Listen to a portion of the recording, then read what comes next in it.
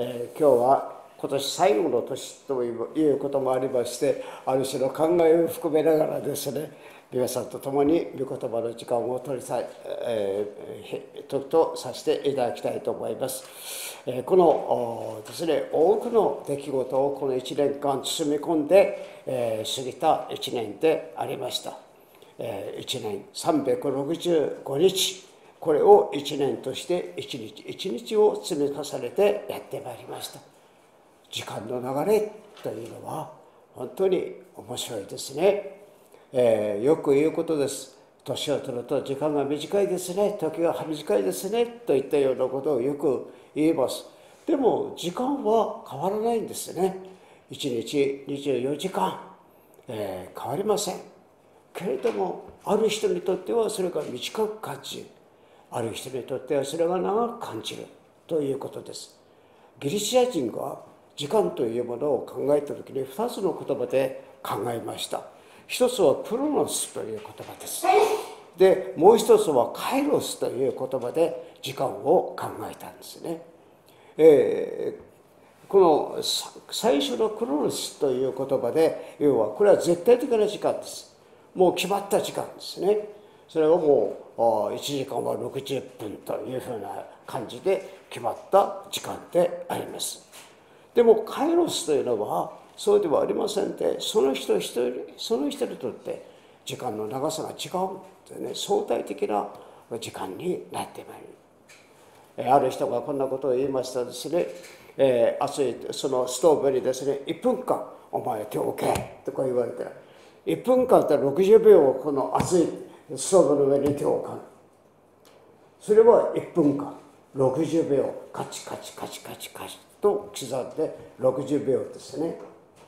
でもある人にとってはその1分この1分間はこの1分間ではない。もう100時間ぐらい長いと感じるでしょう。これがカイロスの時間の概念ですね。私たちにとってこの1年間はどんな1年間だったでしょうか？本当にもう絶対的な時間はもう誰にとっても平等です。これはもう本当に365日変わりない時間の流れ時の流れであります。でもある方にとっては長い長い山道を登るような坂道を登るような時間であったかもしれません。またある方にとっては本当に短い時間であったということが言えるかもしれません。私たちのこの教会にとりましては今年は非常に大きな変化のあった年でありました。長い間この教会で牧師をして奉仕をしてくださいました高橋佳代先生を私たちは4月から山形県の大井町の教会に送り出さなければなりませんでした。そして本当にもちろんそれまで以前も私はこの教会の牧師をしてはおりましたけれどもまあ本当にあの私は あのですね、えー、甲斐先生にその追うところが結構多かって任せておけばいいやみたいなところがあったんですね。ですからこの年になりましてですねもう何から何までこの教会のことをですねもう一回受け止めていかなければならないというのは結構きつかったきついなと感じたんです最初。でも4月以降時間私にとっては本当は短かったです。それはね皆さんと一緒に本当に会社がいらっしゃらないということもあって皆さんたちが本当にですねあのそれぞれのパートパートのところにおいてきちっと教会のお仕事をしてくださって支えてくださったんですね。驚きです。もうこういう兄弟姉妹たちと共にこの教会でご奉仕をすることができたということは私にとってはもう毎日がある意味において驚きの発見でした。それは本当に短いと言ってもいいかもしれませんあっという間に過ぎた。という感じをいたしております。時間の流れというのは本当に絶対的な時間なんですけれどもけれどもある人にとっては長く感じることもあるでしょう。ある人によっては短く感じることもあります。私たちは主にあるところの時間というものをこれから見ていきたいと思っております。まず第一に見たいこと。それはまず時を超えて存在する神ということを申し上げたいと思います。今お読みしていただきました、えー、詩篇の第90編。1節と2節に目を留めていただきたいと思います。主よあなたは猶予にわたって私の住まいです。山々が生まれる前からあなたが地と世界とを生み出す前から誠に常しえから常しえまであなたは神です。ここに山々が生まれる前からとあります、えー、今度高大兄弟が年明けますと3日からイスラエルに行くということですね。でもイスラエル2000年前にイエス様が歩まれたところのイスラエル今言ってもその片鱗を見出すなんていうことはなかなか難しい。建物は違う。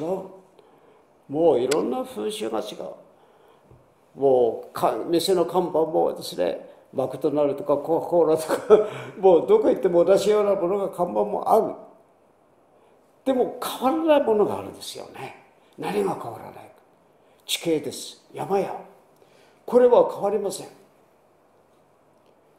イスラエルの人たちがあの都詣での時にエルサレムの近くまで来た時に見えた山を見てそして神様あなたは私たちの助けです。この助けはどこから来るかと言って山を仰いだっていうことが詩篇に書いてありますね。ですからね山とかそういうことは変わらない。ここでもところがですねこの詩篇の90編ではその山々が作られる前から神は存在すると言っています。神様は時間のを超えて存在するお方です。初めに神天地を作りたまえりと言われた。そこからそして光あれと言われたあの漱石に書いてます。一章にね書いてる。そこから時間は始まったんです。でも神様はその天地を作り時を創造したその前にすでに存在しているのは神なんです。初めに神天地を作りたまえと言った時から時間が始まった。カチカチカチカチカチと。時間が始まった。ですからそれ以来全ての生物もちろんその後で生き生き生きるものがいろんなものが作られていった。人も作られていった。命が作られていった。でもその命は時間の中で作られている。でも神様は作り主である神様はその時間の外におられる方当たり前のようであるかもしれませんけれども私たちはそのことをもう一度思い起きたいと思います神様は時の支配者であって時から時間から支配されるお方ではない。私たちは時間に支配されてますね。何時からこれがありますよ？とも具体的にこの礼拝も10時半からです。その10時半15分前からはスタッフの方々集まってください。お祈りしますって、もう時間に制限されてますよね。私たちは時間に追われてる。ここで時間を守らないとルーズなやつだと言ってもう批判もされたりもう白い目で見られる。もう私たちはよく言われました。私もよく言われました。決まった時間に約束時間に行かないと1分遅れるとそこに約束してから10人いるならば10分の時間をあなたはウエストしたんですよ。無駄にしたんですよ。だから時間を守れ。Be punctual 時間を守りなさい。よく言われます。これがいわゆる時間厳守ということだそれはクリスチャンタイムですよって私の先生はそんなことをよく言いました。ビーバンチャルこういうふうに言われたんですね。私たち人間は時間に支配されています。時間に追われています。そして時間を追いかけていきながらいつの間か年老いていってしまっていく。でも神様は時間の外にある方です。我々の神様は時間の外にある時間に支配されているお方ではない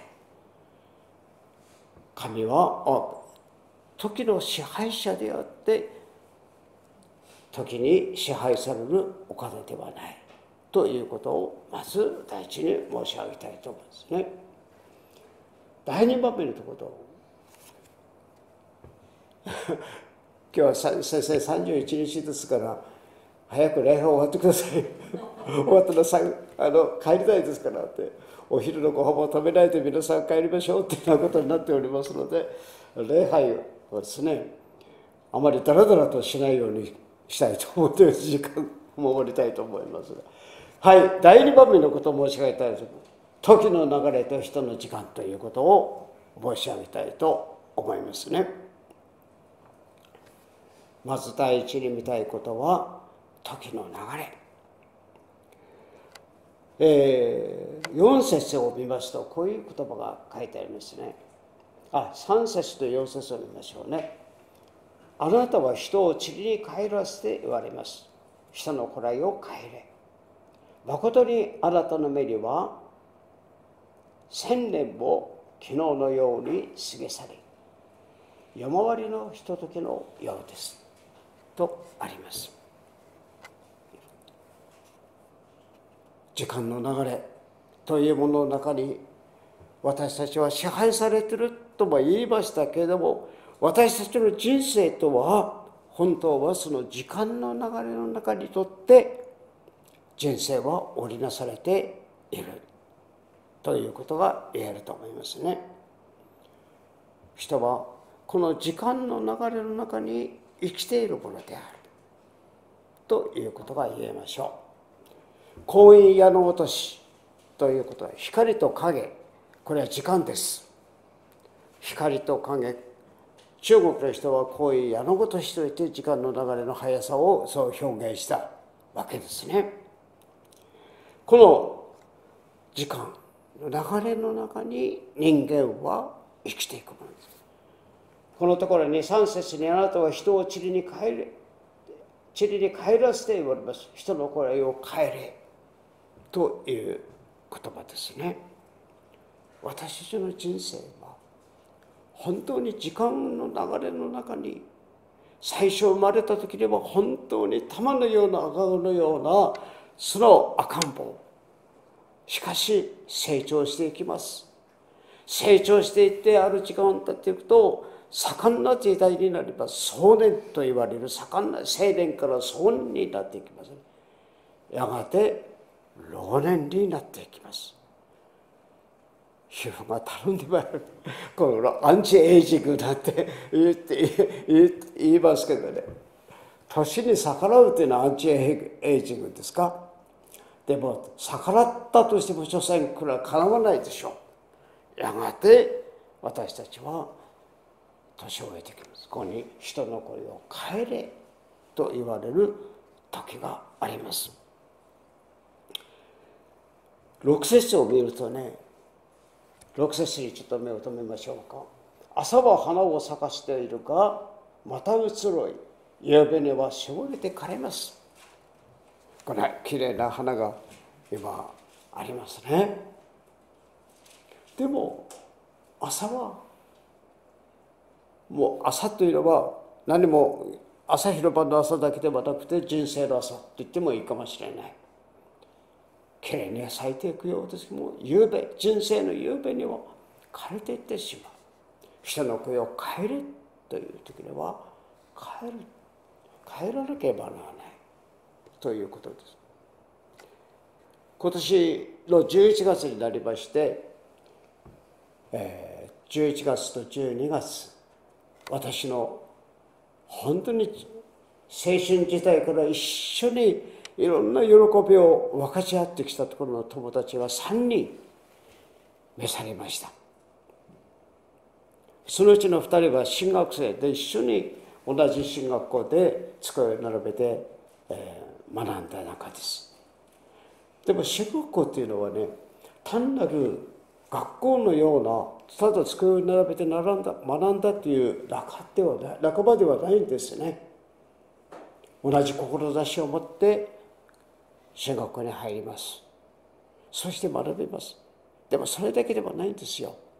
進学生の中ではね寮生活をしてて本当にあのもう朝から朝起きた時から夜寝るまで何らかの関係を持っている特に大切なことは祈りの時間が共にお互い祈り合うやってそしてやってきた中です。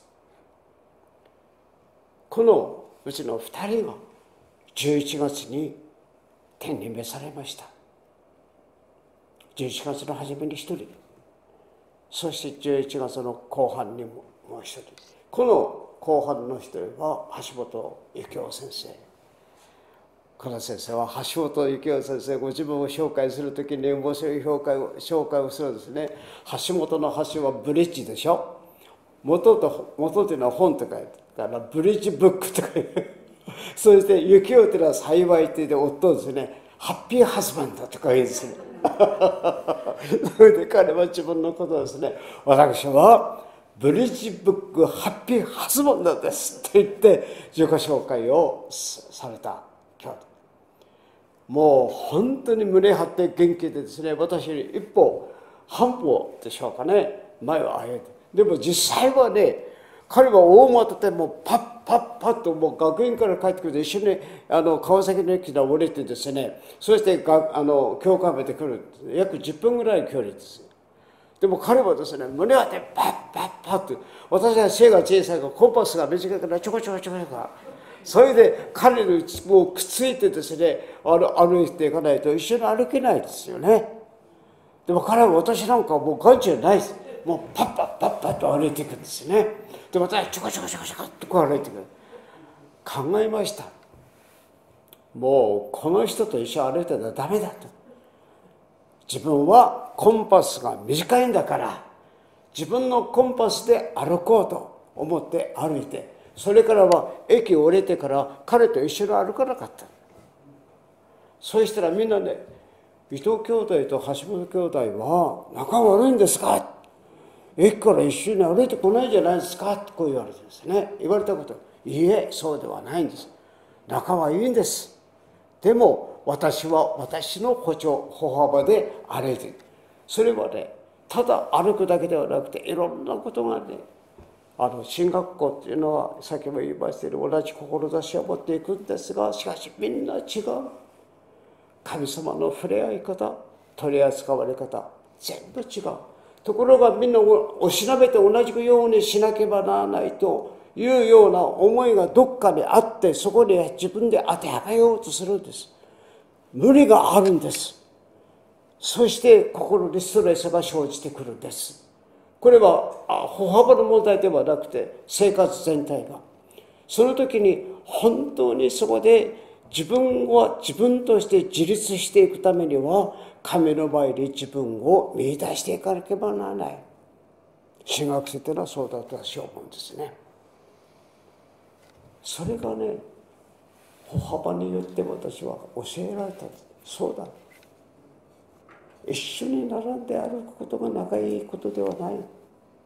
自分の歩幅で歩けばいいんだって分かった。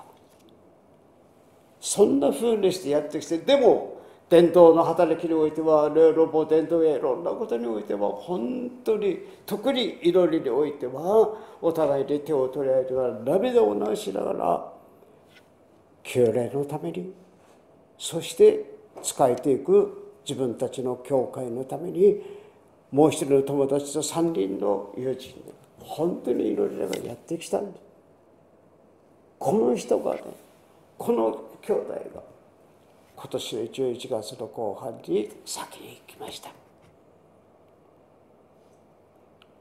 私はその時に私の心に返ってきたのはねあもう一人の兄弟のことを申し上げます。12月に入って今度は私と一緒に洗礼を受けた兄弟。学張俊也っていう兄弟です。学張って非常に面白い名字ですがこれ新潟の方にある兄弟です。学っていうのは覚えるというですね。あの学自覚の学です。春っていうのはあの春イベヘンに長い手字を書け学張俊也という一緒に洗礼を受けました。朝寒い時に蒼天祈祷会で教会にお互いが私は大田区に住んでおりました。彼は川崎の、えーえー、あのあポットで ちょっと離れたところに住んでたんですよ。それ蒼天にお互いに自転車でやっていくんです寒い時にもう本当に自転車こぎながらもう鼻水がもう出てくるような中でそれがね小さな小さな伊佐子町という教会川崎の伊佐子町という教会に来た時に2人でそういうお互い鼻水流しながら教会の前で出会うんですよ。兄弟おはよう向こうもおはようと言って街道へ入って小さな街道でしたけどもそれで互いに蒼天祈祷会で祈り合った中です。この兄弟が12月に入って天に召された。私が洗礼を受けた者のうちに3人が牧師になったんです。でも彼は牧師ではならなかった。彼は言うんですね。俺と洗礼を受けたんだけど3人牧師になっちゃったね。でも俺は牧師なので頑張った。とか言っておりました。本当にその言葉の通り彼は教会に仕え教会の牧師たちに仕え。そしてそのえー、後に彼は勤めの関係ですねあの八王子の近くの東芝の方に勤めておりましたのでそちらの方の教会に変わった。その教会でその初代牧師2代目の牧師3代目の牧師と3代牧師が変わったんですけどもそれぞれ変わった牧師さんに本当によく仕えて信徒として教会の役員として81歳まで彼は仕えた。牧師さんが若い牧師さんが組織を葬式の指揮をしています。彼は兄弟学張兄弟は本当に教会に全く主のしもべとして仕えてくれました。私はそれ来て嬉しかった。でもその兄弟が天に召された時に何かもう一緒にですねこの何と言いましょうか、えー、青春時代を歩んできた仲間の兄弟たちが天に行かれた。人の時間というのはどんなに頑張ってもそれは終わりがあります。私その時私の心に帰ってきたところ賛美歌がありましたしあしあの、えー、しし新聖歌でもありますけれどもですね英語のサビで黒人霊感で歌われている「Sing Lord Sweet Chariot」っていう歌です。それが私の心に響いてきました。私はその中でね面白い歌詞があるんですよ。それはあのあなたがもし私より先に天国に行ったならば私もやがてそこに行くよと私の友達に伝えてくれっていうところがあるんですね。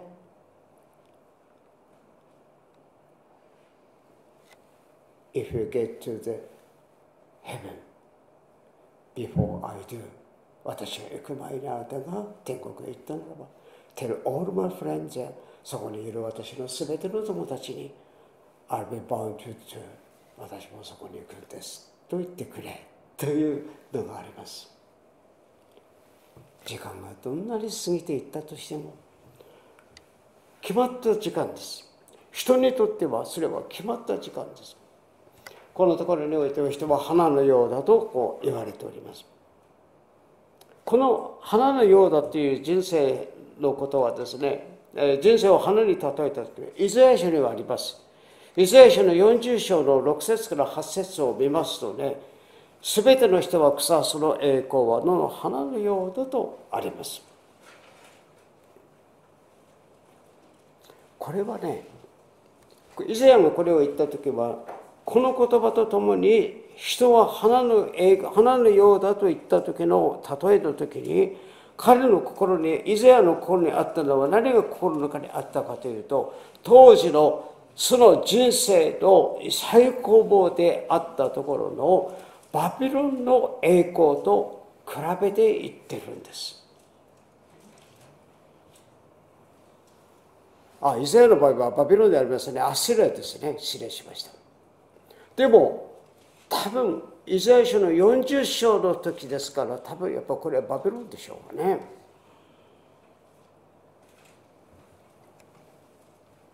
バビロンの栄光というのは国の作家最高峰とその当時の最高峰ということができるかもしれないでも人はそれと比べると花のようだその花もやがて朝は栄えて夕べでは枯れていくそれであるというんですね。はい。もう一度この90編の、えー、ところの7節に、えー、ごめんなさい。10節に目を留めてください。今日はあ読んでいただいたのは8節までだったでしょうか。あですね。10節に目を留めていただきたいと思いますが10節にこう書いてありますね。私たちの弱いは70年。健やかであっても80年。しかもその誇りとするところはロークと災いですという言葉が書いてありますが。この詩篇の90編というのはモーセという人が書いたと言われております。で彼はこう言ってますね。人の弱いは70年だ。健やかであったとしても80年だそうか80年か もう私はそれを超えてます。でね、岡村兄弟、もうはるかにある。もう88歳。関姉妹も同じですね。人の弱いは70年、あるいは80年であると。光も影も一瞬の出来事であります。これはね、もうあの、クリスチャンだけでもなく、聖書だけではなくてですね、あの仏教の世界でも同じようなことを言った人がいるんですよ。これあの浄土真宗の本願寺の八世の人で蓮如上人という人がおります。この人がお書きになったごあのおお不備っていう文あの手ですね。この人はですね伝道する時にいろんな手紙を書いて伝道したんです。いろんな人に。まあ手紙でもって伝道したっていうのはポールも同じことですけどもね。手紙でもって伝統した。このお踏みっていうのがありますけどもこの中にはですね明日には幸運があり夕べには白骨となれる身なりという言葉があります。有名な言葉です。明日には幸運本当に若々しい。でも夕べには白骨となる。というの親族そうだったら親族眷属が集まってそうして愛嘆いたとしてももはや遅いというようなことを言っている言葉がありますけれどもまあこれはあの余談でありますけれどもはい第3番目の問題について神のなさる宮さんはい今まで時間の中にある立憲というものがどんなに盛んだとしてもやがて終わりがあるということを申し上げます。何かもう年の瀬だというね先生ちょっとペシミズムじゃないかな悲観主義ではないかなとあのですねせっかく教会ってそんなですねなんか死みたいなの間近にさせられてもう少しいい話してくれないかと覚えでしょ？だからこれからそういう話をしたいと思います。まず第一になさるのは神様にのなする御業ということです。16節に今の90編の16節に目を留めていただきたいと思いますあなたの御業をあなたのしもべらにあなたの意向を彼らの頃に見せてください私たちの神主の子慈愛が私たちの上にありますように。そして私たちの手の技を確かなものにしてください。どうか私たちの手の技を確かなものにしてください。確かに私たちは時間の制約の中にあります。そして私たちは命あるものは必ず置いていきます。これは変わらないかもしれない。けれどもそれだけが私の全ての人生ではないです。さてその神様の作りなさった時間の中に生きるものとさせていただいた私たちは単なる生物学的に生きるものではなくてそれは神にある意味ある生き方をしていくことに大きな実りがあるということをここでは申し上げたいと思います。人の人生は時間はたとえ一瞬であったとしても朝にも神戸が朝にも肛門があり夕べには発骨するようなあるいは朝には花が咲き夕べにはしょれるような人生であったとしてもしかしそれ自体も神の御手にある時に麗しい人生となる。伝道者の書の3章の11節にはね神のなさることは時にかなって麗しいと書いてある。イエス様によって救われている私の人生は時間の長さではない。それは輝いて表しいんです。意味あるんです。ですから私たちの人生をペシミスに悲観的主義的に見るのではなくて肯定的にそれは本当にですね実りあるところの神の栄光のために私は生かされる存在です。そのことを今日覚えたいと思いますね。私たちの人生は主にある時にそれは麗しいものです。麗しい人生。私が佐賀でにおりました時に一人の本当に可愛らしい小学校1年生だったでしょうかね。男の子が教会に来た。教科学校の時間ですね。ここでイエス様は信じたんです。この子はで信じた。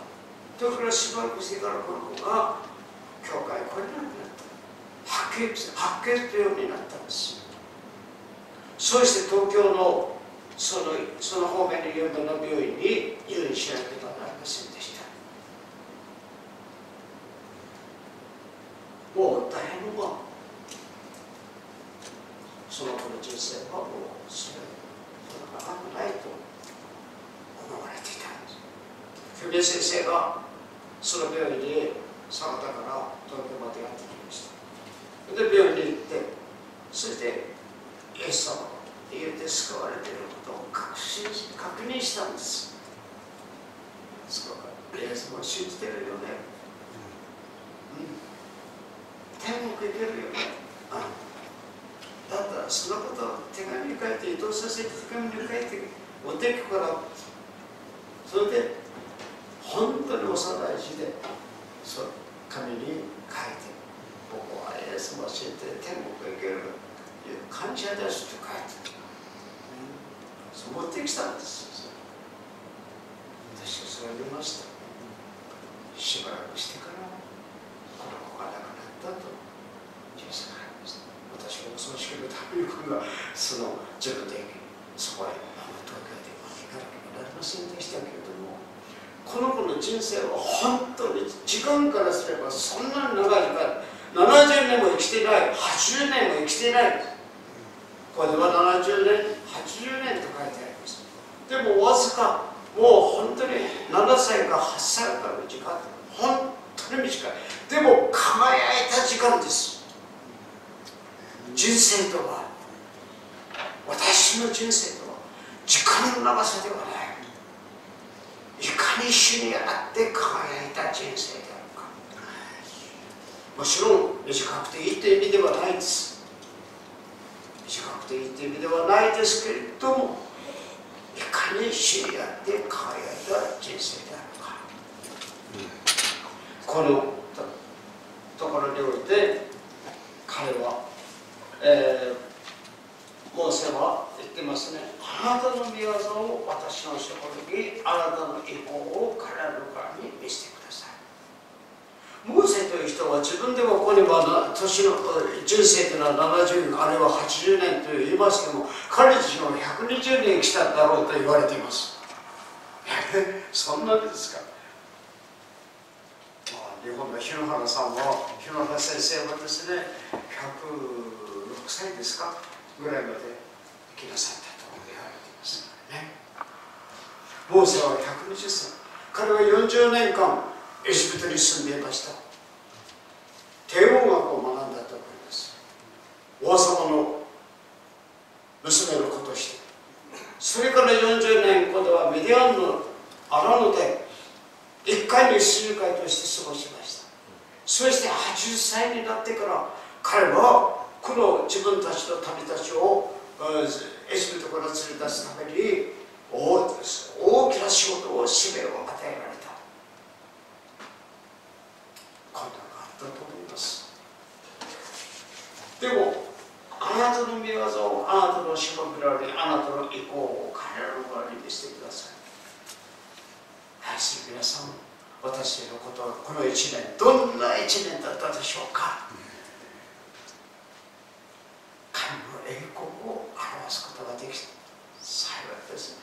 今年1年間私たちは私たちが主の足になろうというこのスローガンのもとでやってまいりました。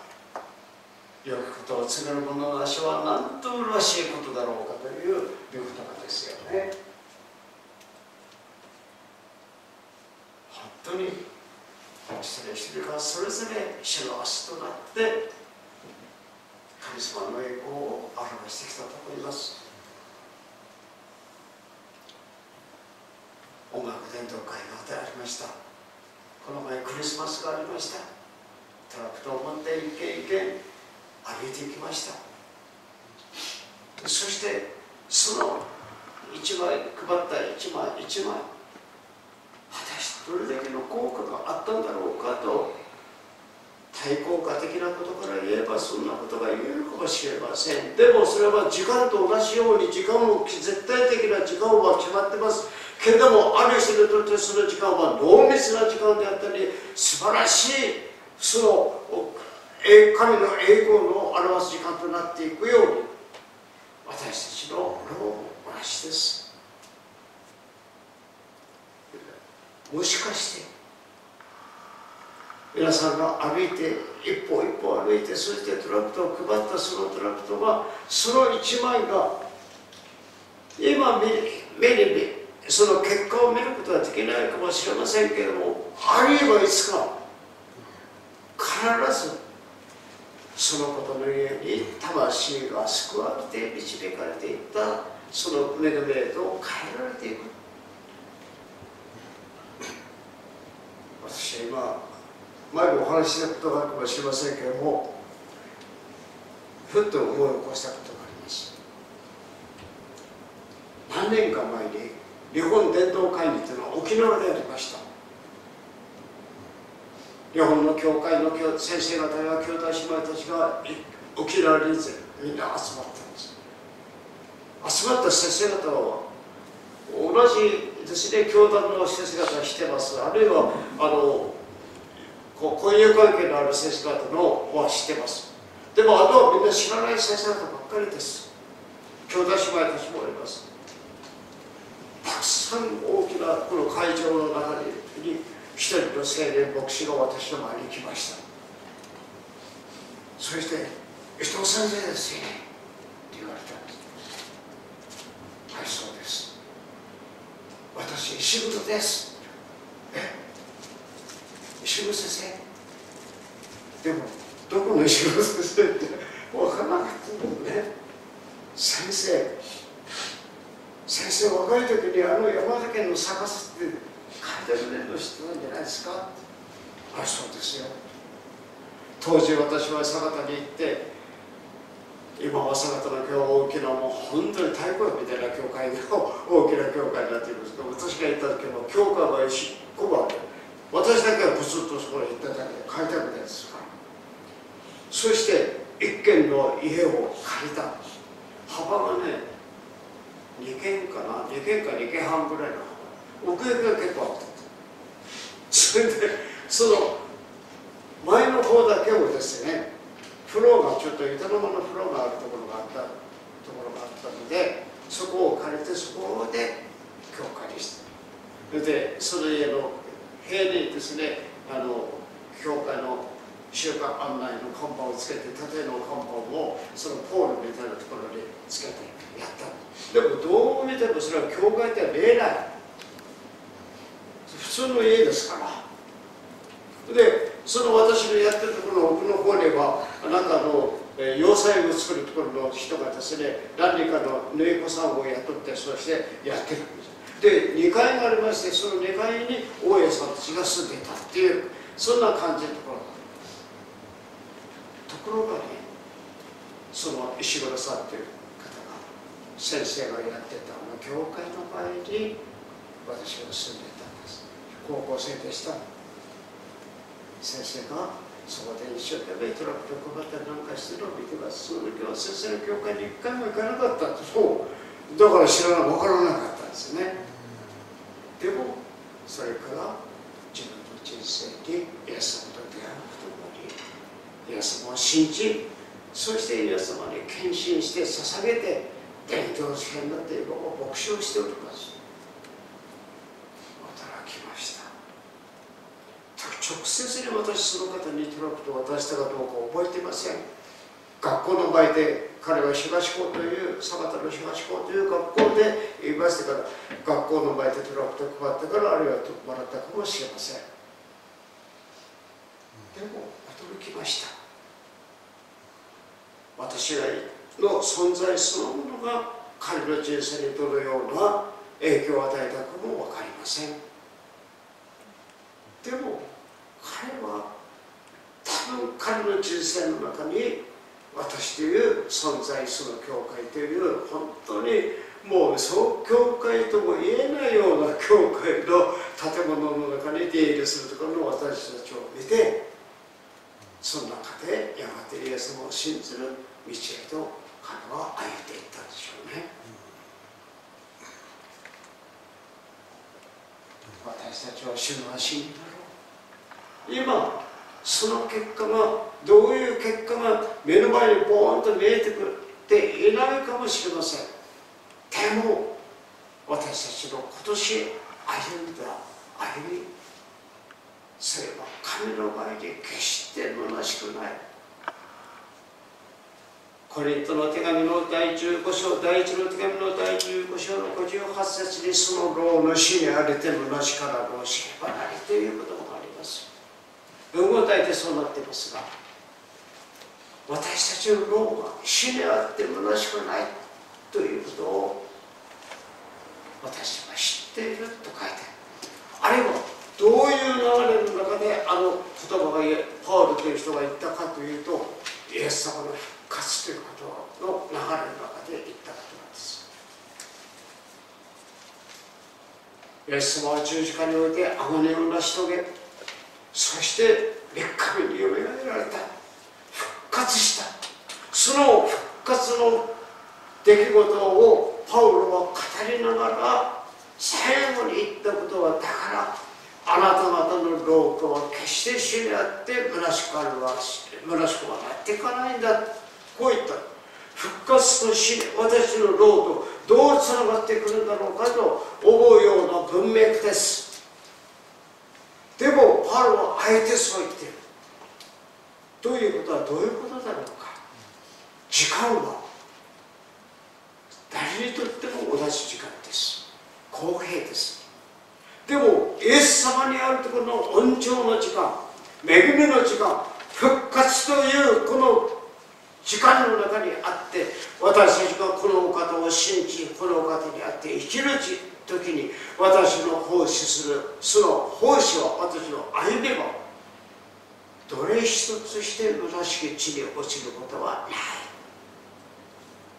今年1年間私の歩んできたこの教会において捧げてきたところの奉仕はある兄弟姉妹がそれぞれのところに目に見えたこと目に見えないことあるいは私が意識して触れたこと無意識に触れてったところの兄弟姉妹ある多くの主友人知人その奉仕の全てにおいて神様はそれを顧みてくださる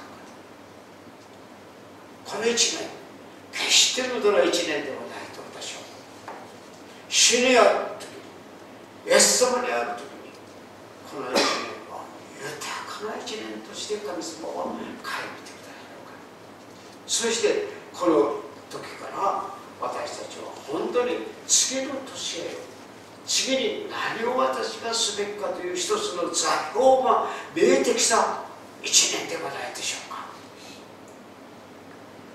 私たちの将来明日は何をすべきかということが私たちに見え始めてきたこの一年ではないでしょうか。決して時間が流れていくそして花のようにしおれていく。確かにそうです。でもそれだけが私の人生ではない。主に会う時にそれは豊かなものとなっていく。そして次の年にそれはさらに神の栄光を表すとして私たちに備えられている時間であるということができるでしょう。一年を締めくくるにあたって主がなさってくださったことに対する感謝。すべて主のなさっていることを私は忘れてはならないと支援のにありますけれどもまさにそういうな恵みへと歩ませていただきたいと思います。お祈りいたしましょう。私の内側神様感謝をいたします。2017年まさに今日が最後の年です。いろんなことを思い起こすことができます。あなたと出会ったことあなたに会って生かされてきたこと励まされたことあるいは時につまずいて涙したこと。でもそれらのことの全てを包み込みながら全ては死にあって全てのことを愛に働きして益となりというお言葉の通りにあなたの栄光とさせていただくことができますことを解消いたします。神の言葉は常しえに変わらない。